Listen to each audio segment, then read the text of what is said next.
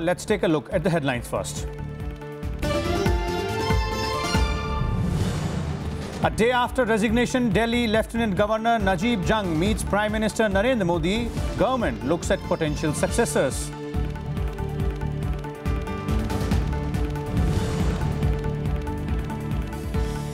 Minister of State for Home Kiren Rijiju meets Manipur Chief Minister Okram Ibobi Singh, says state government can't escape responsibility for humanitarian crisis due to 52-day economic blockade.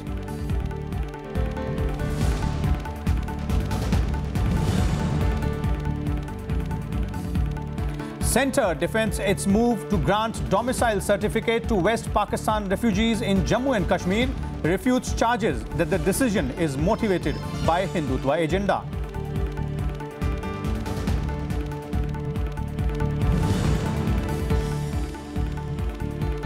And the man believed to be suspect in the Berlin Christmas market attack killed in Milan. The dead man was identified as 24-year-old Tunisian.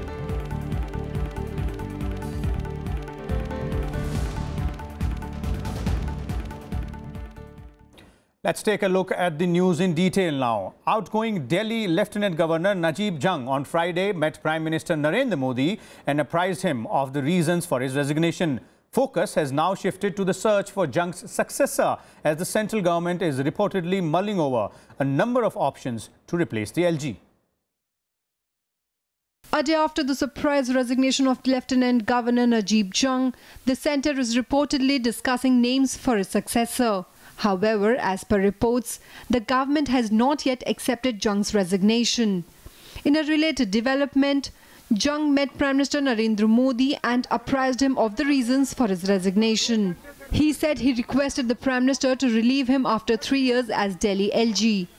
Meanwhile, Minister of State for Home Hansraj Gangaram Ahir said the government had not forced Jung to tender his resignation.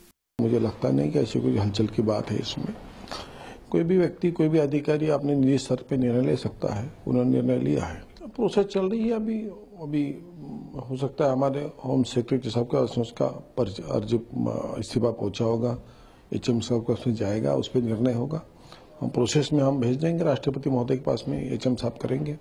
Earlier, Delhi Chief Minister Arvind Kejriwal and Deputy Chief Minister Manish Sisodia met the outgoing Lieutenant Governor at his residence. कुछ कुछ incidents इस तरह के होते रहे दिल्ली में chikungunya वगैरह का और इस सब का।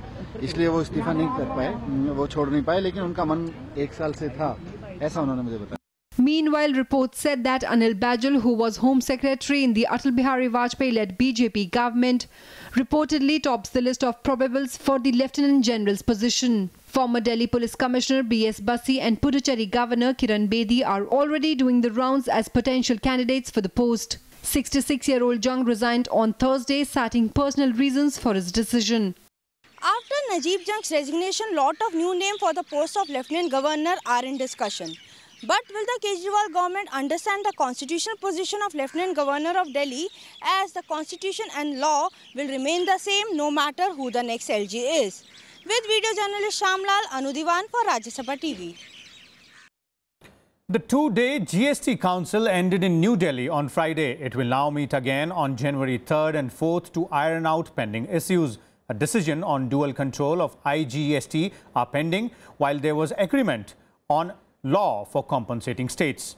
The finance minister said that dual control and cross-empowerment are the two issues that remain to be sorted, while the rest of the draft of supporting GST laws has been approved. A legally vetted draft of the law for compensation to states will be placed before the GST Council at the next meeting.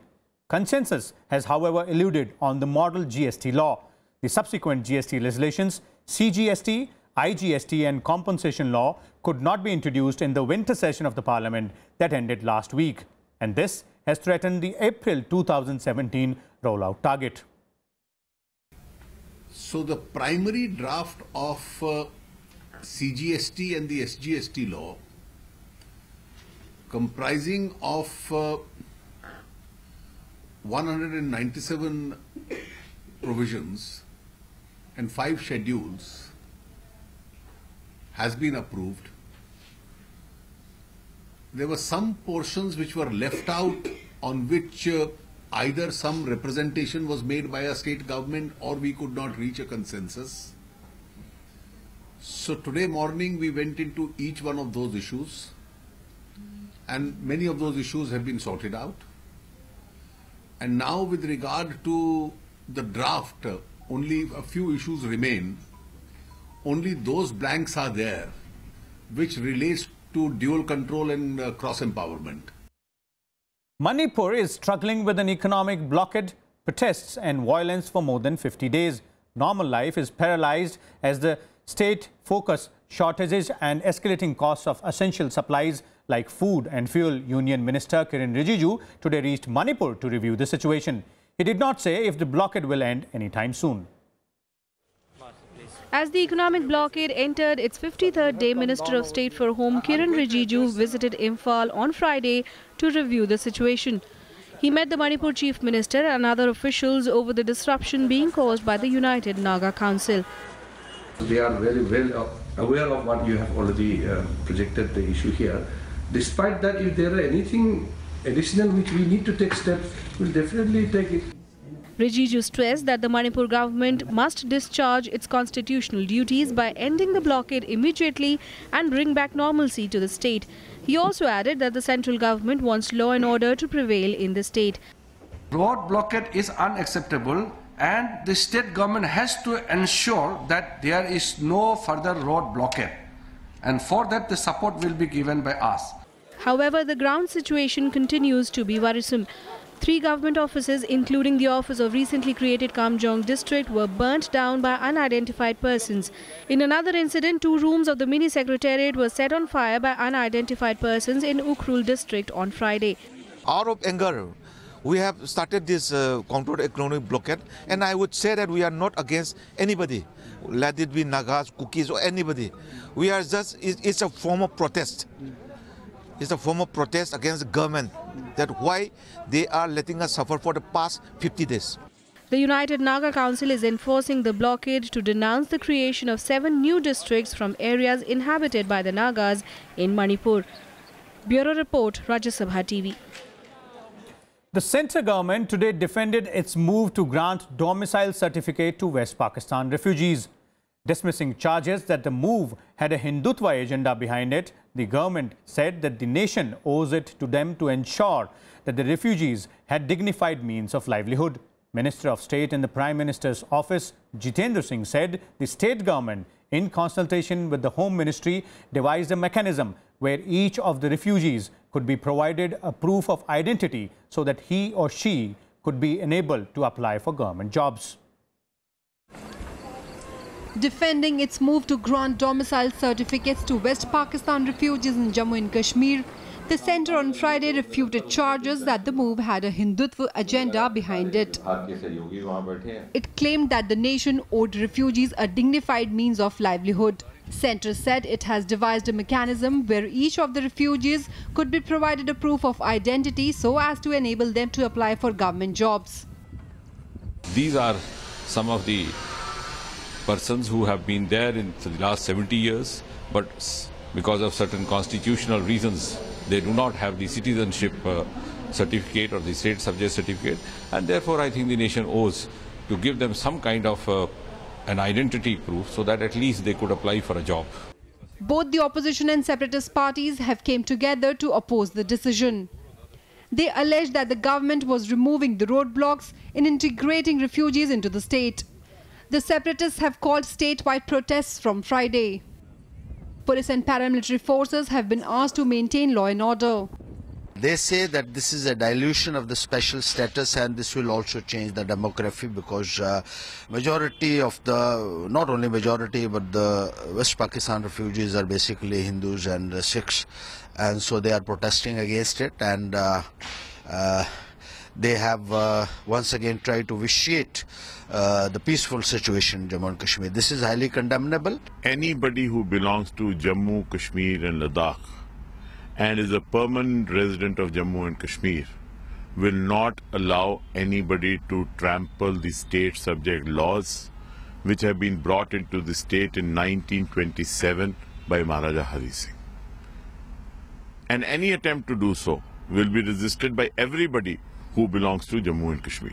West Pakistan से हैं इनको पा, पाकिस्तान पंजाब से है इनको Indian Punjab में बसाना चाहिए या वापस पाकिस्तानी पंजाब भेज दो या और कहीं अंडोमान निकोबार में बसा दो लेकिन यहाँ किसी भी सूरत में हम ये इनको रहने की इजाज़त नहीं देंगे। अगर रह रहे हैं शरणार्थी तो रह रहे रह जाए हमें उससे कोई आपत्ति नहीं है मगर सिटेड सब्जेक्ट किसी भी सूरत में हम इनको देने नहीं देंगे क्योंकि ये मुतनाज़ खत्ता है। अगर ऐसा होता है तो हम यहाँ एक नई एजुटेशन स्टार्ट होगी जिसकी जो कहीं थमने वाली एजुटेशन एक्शन नहीं होगी। Independent legislator Sheikh Abdul Rashid and his supporters were detain in Srinagar after they protested against the move The state government on Thursday clarified it was not granting domicile certificates but instead was issuing identity cards.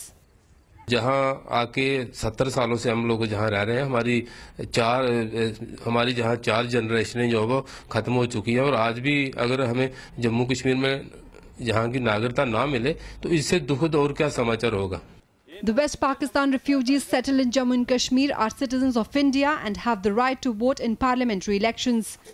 However, they are not permanent residents of the state under the Jammu and Kashmir constitution. They do not enjoy voting rights to the state assembly and local bodies. Bureau Report, Rajya Sabha TV. Congress Vice President Rahul Gandhi addressed a rally on Friday in Uttarakhand's Almora district. He once again criticized the government's move to demonetize old 500 and 1000 rupee notes and called the move an economic robbery. Rahul also said more than 100 people have lost their lives since the announcement and claimed that the Prime Minister was mocking the poor by calling them thieves. He threatened that all cash is not black money and all black money is not cash. However, he also asserted that the Congress party is committed to obliterate corruption from the country. He also demanded to know the names of those who have been hoarding black money. नोटबंदी काले धन के खिलाफ निर्णय नहीं था भ्रष्टाचार के खिलाफ निर्णय नहीं था नोटबंदी एक आर्थिक डकैती थी आर्थिक डकैती ढाई साल से, ढाई साल से नरेंद्र मोदी जी ने सिर्फ़ एक काम किया है। हिंदुस्तान के गरीबों पर आक्रमण करा है। In the wake of increase digital payments post demonetisation the home ministry has asked digital payments and e commerce companies to beef up their cyber security Home Ministry has reportedly told the Information Technology Ministry and concerned agencies to communicate the concerns of the government to the companies involved in e-commerce. The ministry said the threat of cyber attacks cannot be ignored, especially when people are adopting digital payments as a new way of life. Let's now take a look at some more news from across the nation in Nationwide.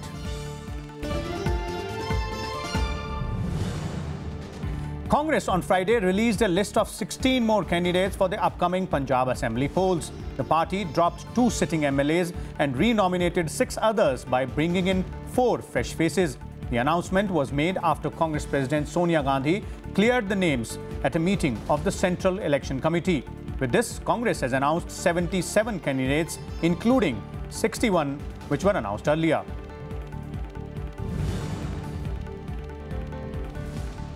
The CBI asked Uttarakhand Chief Minister Harish Rawat to appear before it on December 26 in connection with a probe into the purported sting operation case. This is the second time that Rawat has been summoned on a preliminary inquiry registered by it. The alleged sting operation took place on April 29th, showing Rawat offering bribes to rebel Congress lawmakers in order to support him during a floor test in the Uttarakhand Assembly.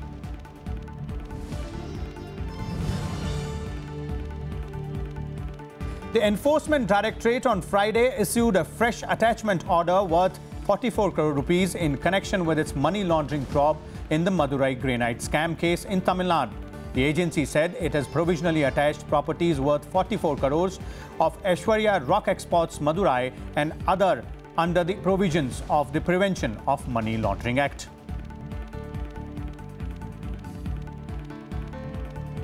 Let's take a short break here.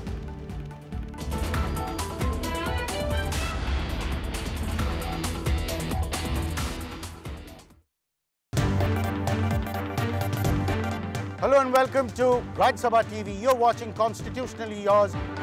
I will use the shield of faith to promote cow slaughter. The states have continuously failed to implement the ban on cow slaughter. Other section of the society, they are beef eaters. How are we the biggest exporter in beef? India is the largest uh, country in export of uh, beef. Join us as we try to understand contemporary issues related to the Constitution. Watch Constitutionally Yours on Rajya Sabha Television.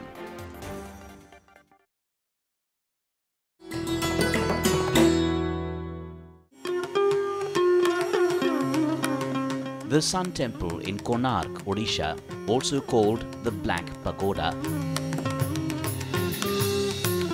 testament to the architectural brilliance and glory of the Ganga dynasty. This 13th century masterpiece was conceived as a gigantic solar chariot.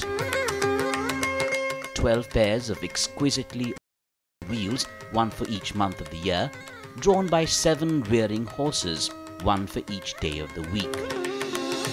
The temple comprises a sanctum with a lofty shikara, a Jagmohana and a detached Natya Mandira in the same axis, besides numerous subsidiary shrines.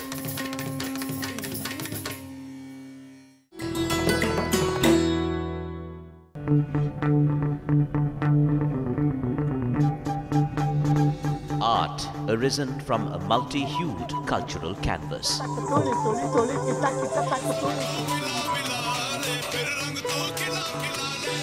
Tradition and cultural fervor dating back centuries.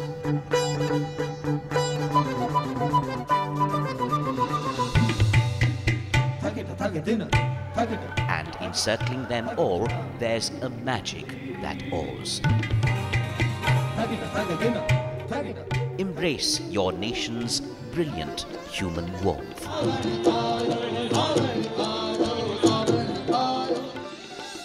Watch Colors of India, Sundays at 9.30 pm on Rajya Sabha Television.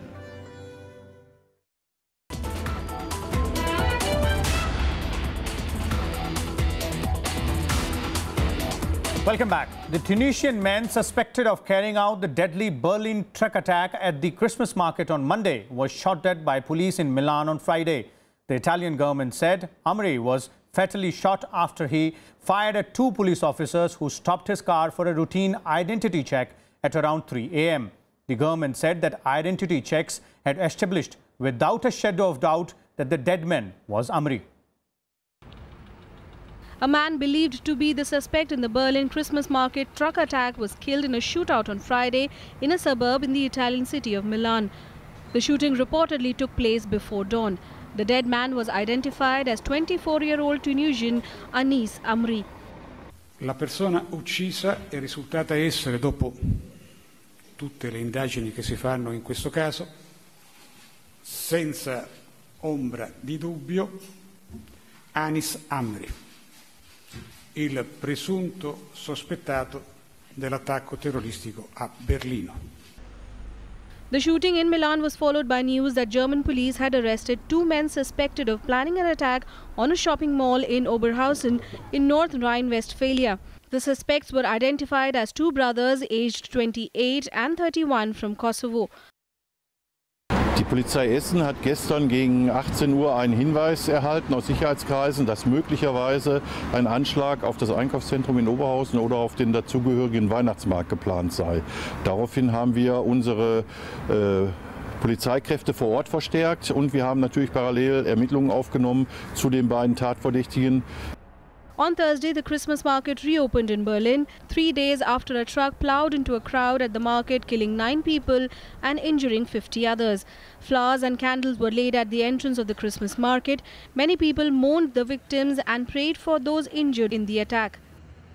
ähm, gerade deswegen hierher, weil wir einfach zeigen wollen, dass das Leben auch einfach weitergehen muss, auch nach so einer schrecklichen Tat. Natürlich äh, fühle ich da mit, mit den Menschen, die, die dort auch äh, Angehörige oder Freunde verloren haben. Ähm, aber ansonsten äh, hat sich bei mir überhaupt nichts verändert. A massive influx of refugees is considered one of the reasons for the current insecurity in Germany. So whether the German government will review and readjust its refugee policy has been the major concern of the local people. Ich denke, es gibt überall schwarze Schafe, ob bei den Flüchtlingen, ob unter uns. Also man kann das nicht pauschalisieren, wir wollen es auch nicht pauschalisieren. Aber wenn er eben sowas macht, finde ich, gehört er einfach nicht in unser Land. The police have set up cement barriers in large Christmas markets all over the country to avoid a similar attack. Bureau Report, Rajya Sabha TV. An airliner on an internal flight in Libya was hijacked and diverted to Malta, where it landed a short while ago. The Airbus A320 was flying inside Libya for state-owned airline Afriqiyah Airways with 118 people on board. Two hijackers had threatened to blow up the plane. The aircraft had been flying from Sebha in southwest Libya to Tripoli. The tiny Mediterranean island of Malta is around 500 kilometers north of Libyan coast. Libya has been in a state of chaos since Muammar Gaddafi was overthrown in 2011, living warring militias battling for control of different parts of the country. Forces loyal to a fledgling national unity government have taken control of the coastal city of Sirte, which has been a bastion for the Islamic State group since June 2015.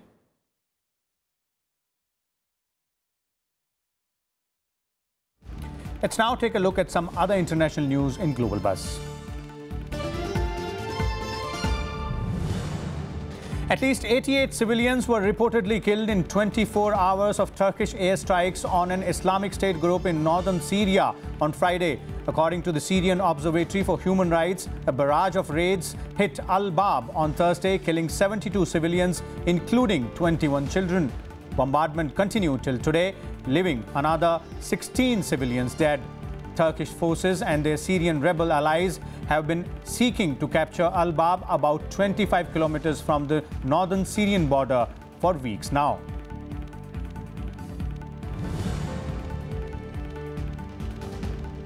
The World Health Organization on Friday said an experimental Ebola vaccine has been found to be 100% effective against the deadly virus. The vaccine is the first to prevent infection from one of the most lethal known pathogens. WHO said if approved, the vaccine would vastly reduce the likelihood of ever seeing another major Ebola outbreak.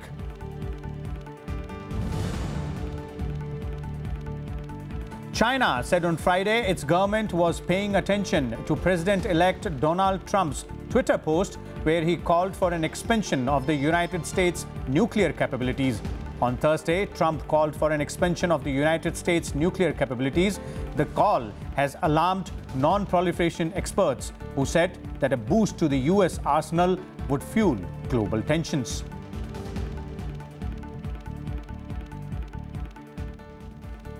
Let's now take a look at some sports news.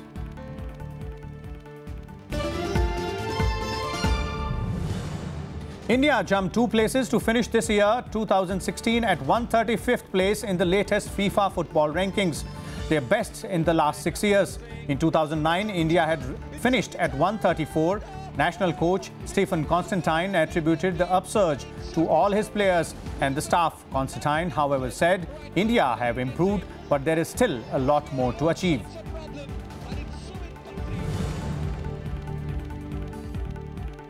India's five-time Winter Olympian Shiva Keshavan clinched a gold medal at the Asian Luge Championship in Nagano in Japan. Keshavan dominated the event and finished the second heat race with a time of 1 minute and 39.962 seconds and top speed of 130.4 kilometers per hour.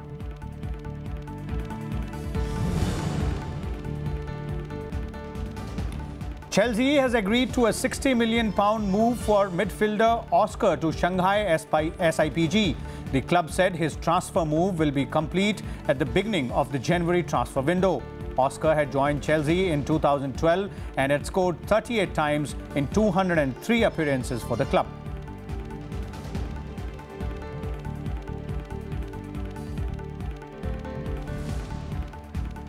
That's all in this news bulletin. Keep watching Rajya Television.